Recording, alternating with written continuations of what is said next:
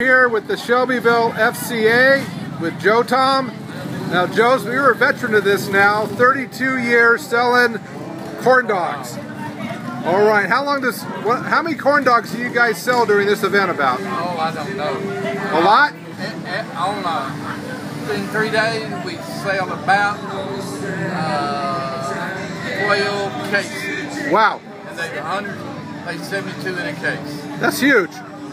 I don't know, how many tickets does it cost for one of those corn dogs? Two, uh, two tickets. And you're making those fresh as you go throughout the day. Oh, no. They're not, they're not hand battered, no. No, no, but I mean, you're cooking them, Yeah. you're frying them right here as you go. Right here. yeah. Yep, awesome. All right, now what have you learned in 32 years of doing this booth? That this is going to be my last year. Really? Yeah, Now, the, now, Joe Tom, do you have somebody to take over? You got two names. Are You're gonna need two people to take you over. probably so.